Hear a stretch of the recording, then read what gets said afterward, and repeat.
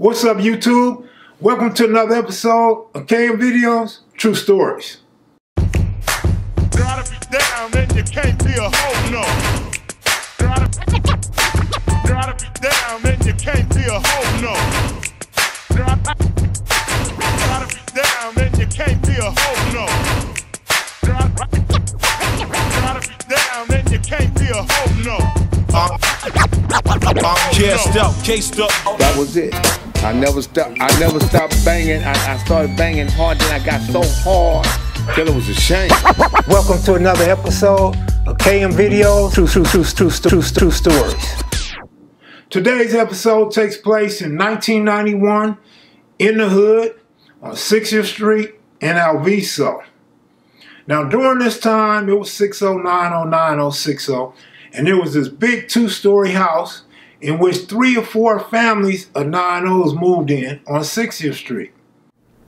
This is the year that America had experienced its most gang-related murders. Over 700 people died that year of gang violence. Also during this time, a lot of First Street East Coast had migrated to the city. So you had several First Streets living in our turf.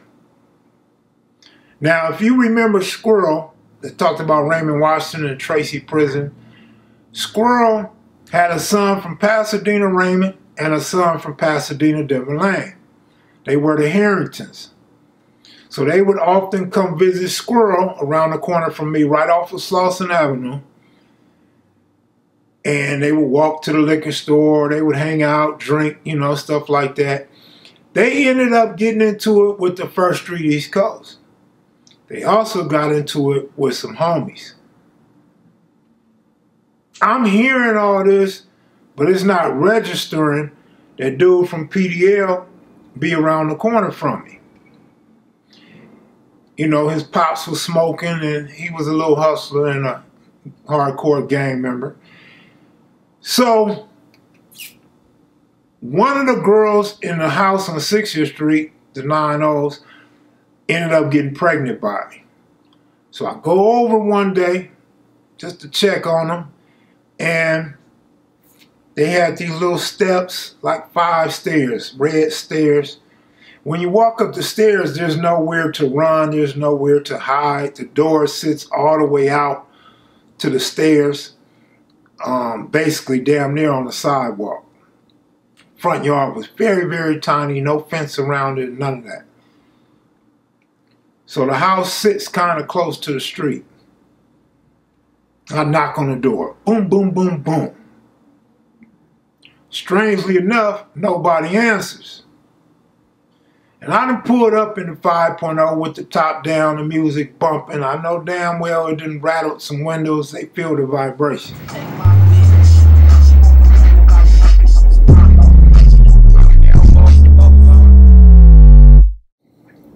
Be a lot of people in the house, a lot of girls and Crips.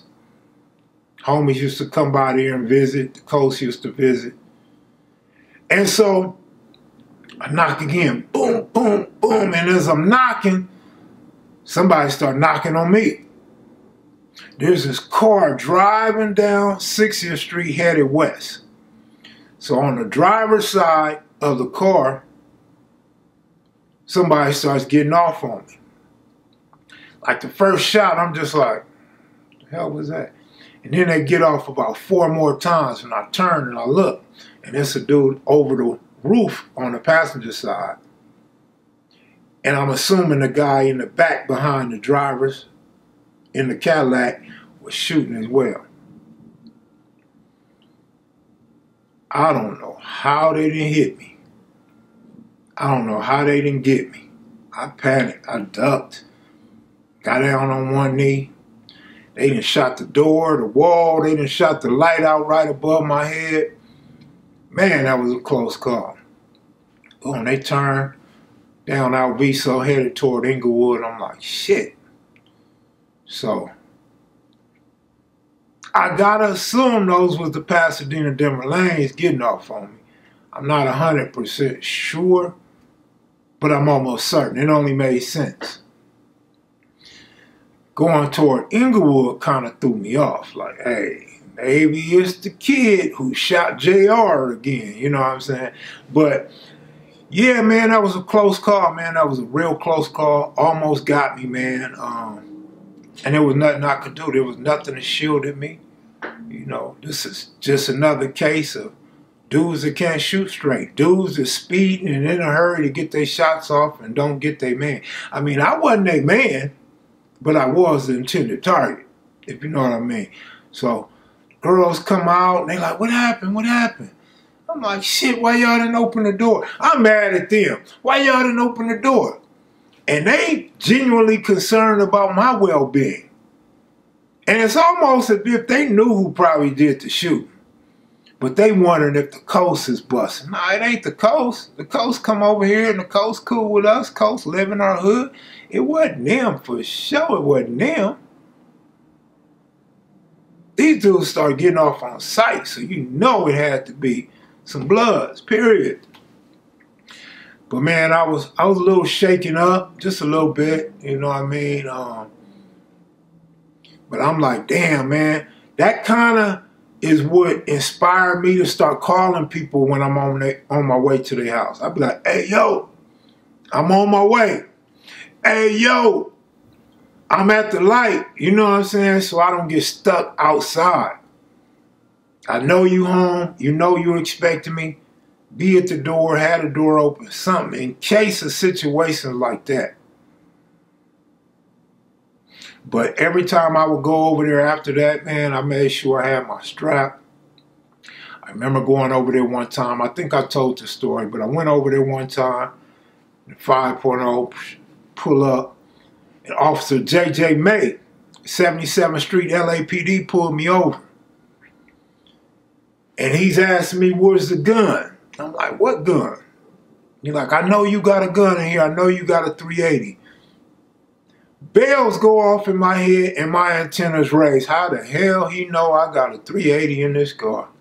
I continue to deny and deny. He tell me, make it easy on myself. Just tell him where it's at. No.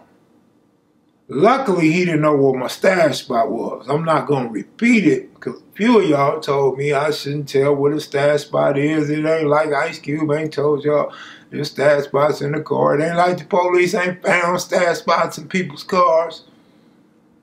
But yeah, man, I got lucky that they didn't shoot me. And I got lucky over there a few other times when LAPD pulled me over. But during that time, the story was the homies had hit um, a, a armory by the Inglewood DMV. And I personally didn't know about that, but I did know 380s, some cheap ass 380s too, man. It's like the government just dropped off these these malfunction cheap ass 380s for the purpose of just catching us for an attempted murder or carrying a concealed weapon you know what I mean? Like no intentions here, go kill your people off, but more so here, we want to lock a lot of y'all up. Of course, I believe 90, 91, we were gearing up for the next election. Now, if you go back and look into history, George Bush was the president at the time. Oh, slick George, man. George wanted to make sure they kept locking black people up. Now in 91, here comes the presidential election in which Bill Clinton won the election. And we know about all these laws that they all try to pass. We know about Hillary calling us predators.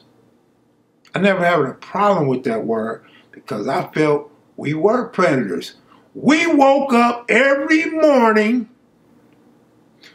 thinking about going to shoot something, going to squabble something, or talking about being shot at or shooting or getting beat up or beating somebody up the previous night. In August of 1991, the LAPD recorded 122 homicides. One month. About one month later, I too would be arrested for attempted murder. The crime bill was not just a Democratic thing because the Republicans unanimously, unanimously voted for it. The Republicans in the Senate voted for this bill also. Although we will blame Joe Biden and Hillary Clinton.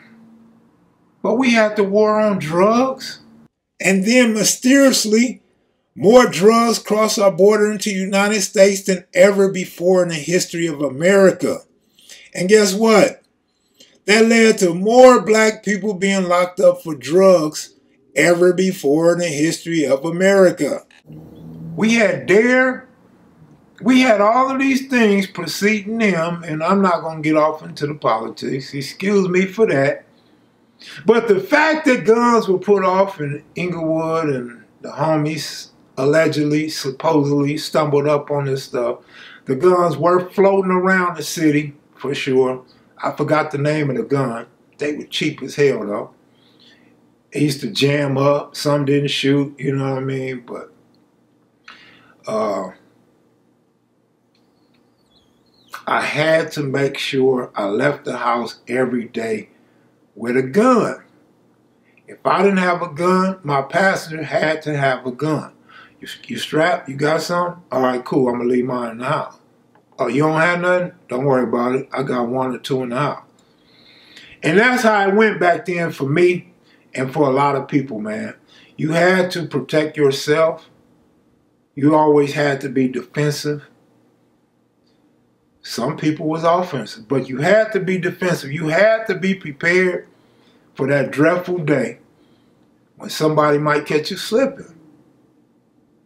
I mean, you could just be going to see your girl. You could be just going to hang out with the homies. You could be going to check on your soon to be expected kid being born. Like, it didn't matter. The violence spared no one. And I was always in the midst of getting shot all the time, man. I've been lucky. I've been very lucky that I've never been stabbed and I've never been shot. Been shot at a many, many, many a times, man. LA was crazy back in the days.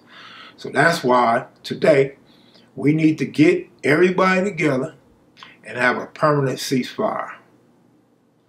Hey man, I'm out of here, man. Hope y'all enjoyed my little rambling and ranting. You know what I mean? Uh, half-ass story.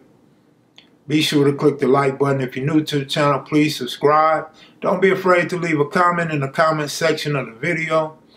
I'm out of here, y'all. Y'all have a great day.